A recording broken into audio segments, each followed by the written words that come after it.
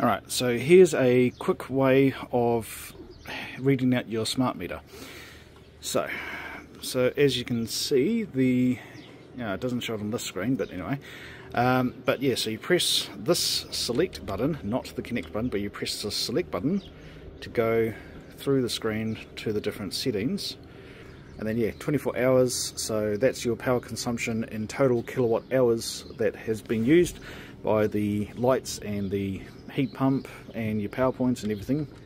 And that's the hot water power consumption so in total kilowatt hours. So your total number that the hot water is used.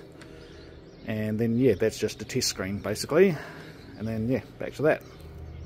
Now to read out what the actual power consumption is press and hold for two or three seconds and I'll say volt.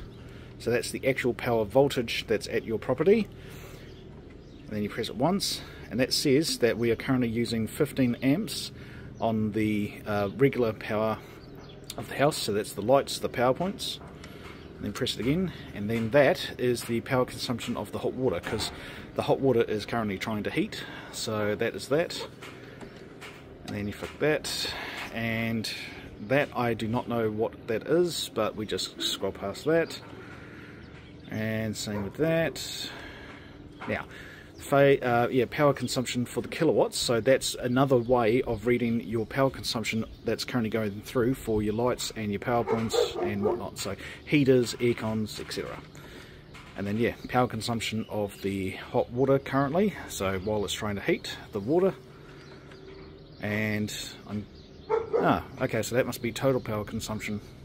Yeah, T. Okay, yeah, so now press and hold and signal 99 so basically it's trying to reinstate the connection to the network but it's yet to do that.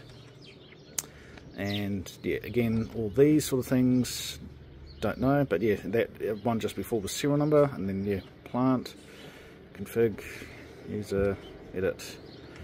So yeah so serial number 210 blah, blah, blah as you see 210 25 so yeah matches up with that and then press and hold and then that carries on back to the regular screen that it was on just before.